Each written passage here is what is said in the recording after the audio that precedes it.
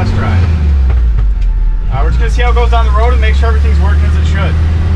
So overall the truck's in nice condition.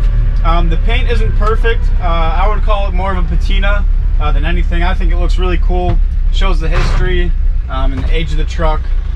But the inside is nice. Uh, it is a three-speed manual shows 14,000 miles on the odometer. The clutch feels really good. It goes through all three gears as it should. Uh, the speedo is working.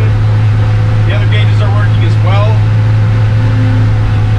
All the lights are functional on the truck. Uh, the wipers work. Overall, just a really nice running and driving Willys pickup.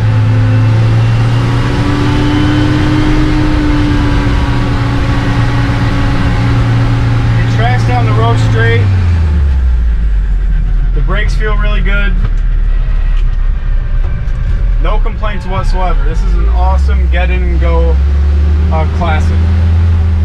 If you would like to see pictures of the Willys, feel free to go to our website. We have over 100 pictures on there. Link will be down in the description. And if you have any questions whatsoever, don't hesitate to give us a call. Uh, and feel free to read the description under those photos on our website. It'll tell you a lot more about the truck and the history. Um, as always, if you like the video, make sure to give it a thumbs up and subscribe.